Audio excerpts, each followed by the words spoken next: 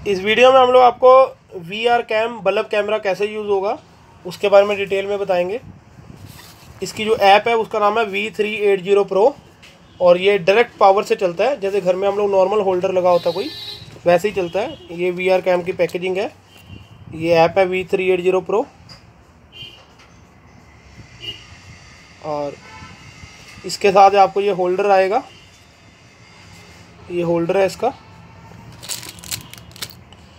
और दो कलर में आता है गोल्डन और वाइट। वो स्टॉक के हिसाब से होता है कि स्टॉक में कौन सा कलर अवेलेबल है, उस हिसाब से आपके पास बल्ब कैमरा आएगा। दोनों की वर्किंग सेम है।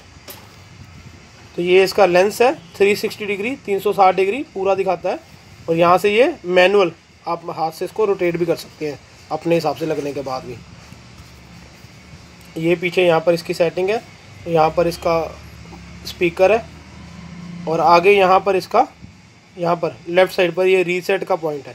इसके अंदर आप पिन डालोगे ये साथ में एक पिन भी आती है लंबी सी रही। तो अगर आपको इसका सीरियल नंबर नहीं मिलेगा, या इसके अंदर पासवर्ड गलत लग जाए तो यहाँ से रीसेट हो जाता है। ऑन करके रीसेट वाले बटन को एक से दो मिनट दबाना होता है तो रीसेट हो जाता है। तो घर में पहले आपने इस वाले होल्डर को नॉर्मल जैसे लाल और काला तार लगकर वायर लगकर इसको पहले फिट कर देना है, और फिर इसके अंदर ये ऐसे चूड़ी की तरह, जैसे इसको रोटेट करके ऐसे ये लग जाएगा। तो इसके अंदर कोई बैटरी नहीं होती है डायरेक्ट पावर से ही चलता है। जब तक स्विच ऑन रहेगा ये चलता रहेगा स्विच बंद करोगे तो बंद हो जाएगा। तो अब हम लोग इसकी आपको वर्किंग दिखाएँगे कैसे इसको करना है। हमने ऑलरेडी एक सेटअप किया हुआ है हम लोग आपको दिखाते हैं यहाँ पर। भाई भाई तो ये देखिए यहाँ पर हमने ऑलरेडी एक कैमरे को ये करंट देकर यहाँ पर देखिए आप। ये करंट दिया हुआ है पावर दिया हुआ है ये हमने फिट किया हुआ है। तो ये आपको हम लोग चला के दिखाएँगे अभी।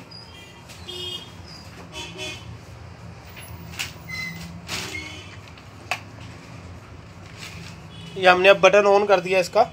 पीछे जो वायर जा रही है पावर लगा हुआ है, हमने उसका बटन ऑन कर दिया।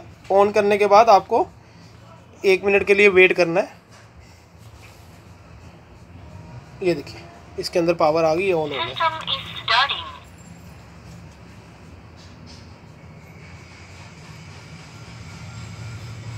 ऑन होने के बाद इसके यहाँ पर लेफ़्ट साइड पर जो रीसेट का पॉइंट बना हुआ है, ये वाला, इसके अंदर आप डालेंगे, ऐसे आपको क्लिक महसूस होगा। तो इसको आपने एक सेकंड के लिए ऐसे प्रेस करके किसी पिन की हेल्प के साथ, जो साथ में आई हुई है, उसको ऐसे एक सेकंड के लिए रीसेट कर देना इसको। तो ये बोल रहा है एक्सेस पॉइंट रेडी अब लास्ट में बोलेगा एक्सेस पॉइंट एस्टेब्लिश्ड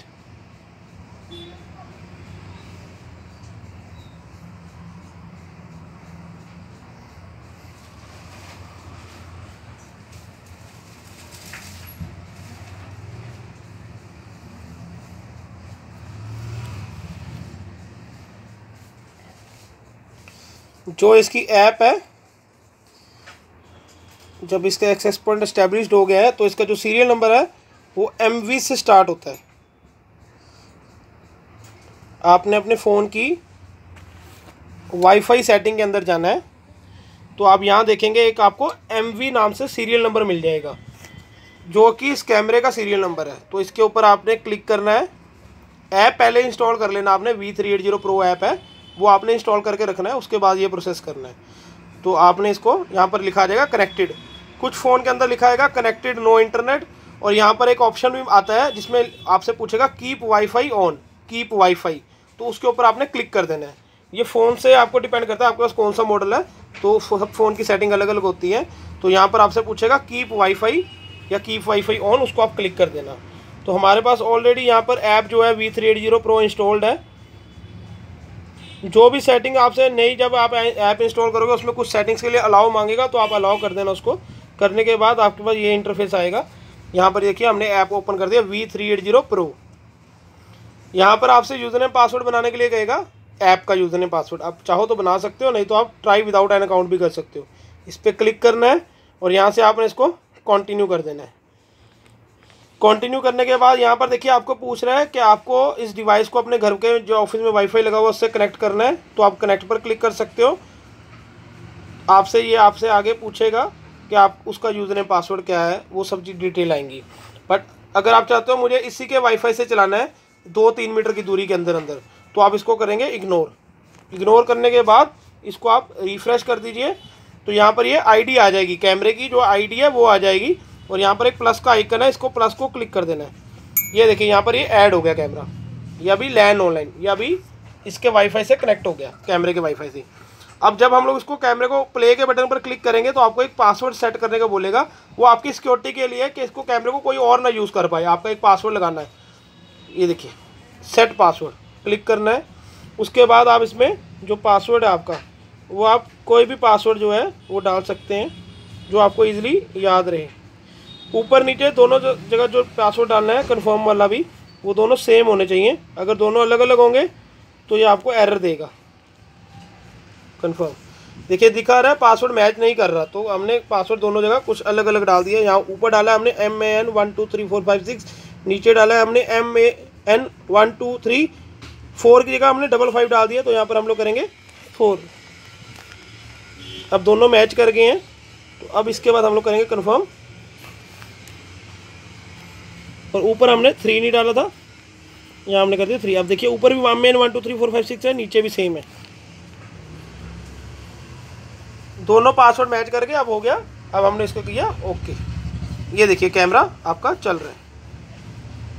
ये लाइव कैमरा ऑन हो गया। कैमरा ऑन होने के बाद यहाँ पर इसकी सेटिंग्स आ रही हैं। जैसे ये फुल स्क्रीन करने के लिए सेटिंग है। यहाँ पर इसका साउंड अगर आपने सुनना है, जो आवाज़ इसमें आ रही है, वो सुननी है तो इसको आप ओपन कर सकते हो। और इसमें जो वॉइस आएगी, इसमें आप सुन सकते हो। अगर कैमरे के अंदर आपको कोई वॉइस भेजनी है तो यहाँ पर क्लिक करके रखेंगे आप। तो यहाँ से जो बोलेंगे तो बल्ब में वो वॉइस जाएगी आपकी। यहाँ रिप्ले की सेटिंग है। मेमोरी कार्ड के अंदर अगर आपको जो रिकॉर्डिंग हो रही है कैमरे में यहाँ पर आपको बता देता हूँ मैं दोबारा से। यहाँ पर ये ऊपर मेमोरी कार्ड का स्लोड दिया हुआ है। बत्तीस G B sixty four G B बत्तीस या चौंसठ जी बी तक का आप मेमोरी कार्ड इसमें डाल सकते हो। तो मेमोरी कार्ड डलने के बाद यहाँ पर आप इसका जो रिकॉर्डिंग होगी, पाँच दस मिनट रिकॉर्डिंग बनने के बाद आप रीप्ले में जाएँगे तो वहाँ पर भी आप इसकी रिकॉर्डिंग जो है मेमोरी कार्ड की जो रिकॉर्डिंग है, वो आप देख सकते हो। आपको बार बार मेमोरी कार्ड निकालने की ज़रूरत नहीं है। तो मोर के अंदर जो है, इसमें जो आपका डिस्प्ले मोड है, जो ये डिस्प्ले है, इसके जो अलग अलग डिज़ाइन आते हैं डिस्प्ले के, देखिए, ये चेंज हो रहे हैं। ये मोड सारे जो हैं, ये आपके मोर सेटिंग के अंदर है डिस्प्ले मोड उसके बाद अगर कैमरा आप मान लीजिए आपका कैमरा उल्टा लग गया है तो आपको उसको उतार कर सही करने की ज़रूरत नहीं है, निकालना की ज़रूरत नहीं है, यहीं से आप उसको रोटेट कर सकते हैं। ये देखिए रोटेट का ऑप्शन दिया हुआ है। यहीं से आप रोटेट कर सकते हैं उसे। यहाँ पर लाइट कंट्रोल है। आपको लाइट जो है कैमरे की ऑन रखनी है। ये देखिए ऑन हो गई है लाइट ऑन करने के बाद ऑन हो गई है। ऑफ़ करेंगे लाइट ऑफ़ हो गई है। ऑटो पर करेंगे तो अपने आप ये सेंसर के हिसाब से ऑन हो जाएगा, अंधेरा होने पर, और ऑफ़ हो जाएगा। आप मैनुअल भी कर सकते हैं और ऑटो पर भी रख सकते हैं। अपने आप सेंसर के हिसाब से वो चलेगा। तो यहाँ पर बाई डिफ़ॉल्ट ऑटो है, आप ऑन ऑफ़ ही यहाँ से लाइट को कंट्रोल कर सकते हैं।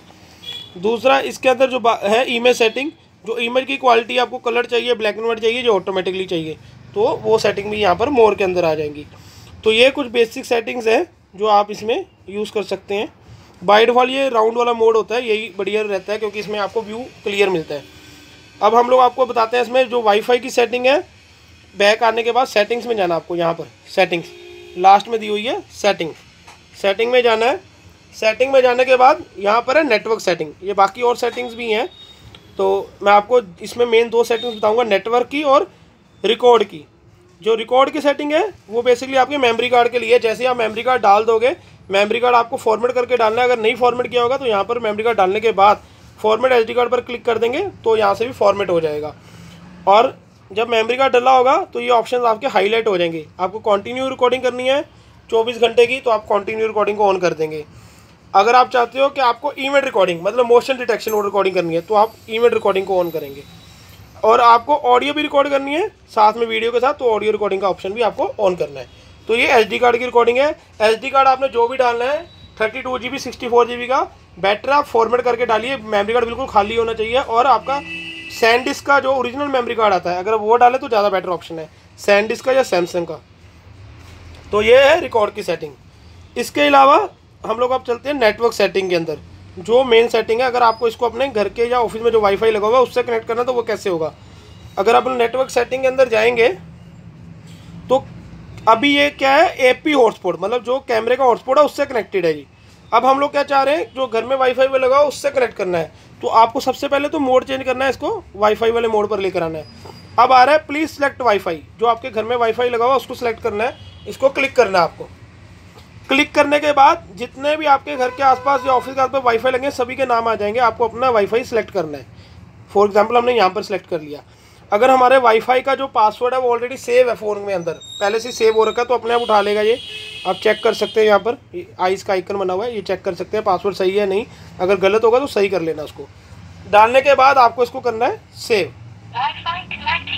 सेव करने के बाद ये एक से दो मिनट लेगा ये आपका जो वाईफाई से कनेक्टिविटी बना देगा।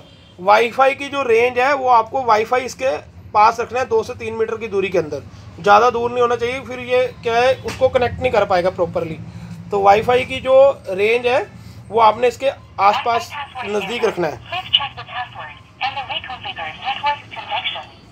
तो कनेक्ट होने के बाद यहाँ पर डिवाइस कनेक्टेड लिखा आ जाएगा और बाकी ये फिर सेम प्रोसेस वैसे ही चलेगा. और इसमें अगर आपको फिर भी कोई इशू हो कनेक्शन में तो आप हमें जो पासवर्ड आपको यहाँ डालना है, जो पासवर्ड आपने डिवाइस का रखा होगा, जैसे हमने रखा था। अगर आप पासवर्ड भूल जाएँ, डिवाइस का पासवर्ड आपको नहीं याद रहे तो आप पासवर्ड इसको, डिवाइस को, जो कैमरा है, इसको आपको रीसेट करना होगा। यहाँ पर पिन लगाकर दो, जैसे पासवर्ड हम लोग भूल गए हैं, ऐसा आपके पास ऑप्शन आए, पासवर्ड नहीं लग रहा हो तो आपको इसको रीसेट करना है। पिन को इसके अंदर डालकर एक से दो मिनट तक बटन प्रेस करके रखना है, ये रीसेट हो जाएगा और दोबारा से आप इसको सेट कर सकते हैं। और पासवर्ड अगर करेक्ट होगा तो आपका कैमरा चलता रहेगा। फिर भी अगर कोई इशू हो आपको तो ये नंबर है। इस नंबर पर बल्ब का और ये कार्ड का फ़ोटो आपने सेंड करना है व्हाट्सअप करना है। हम लोग आपको हेल्प करेंगे। Thank you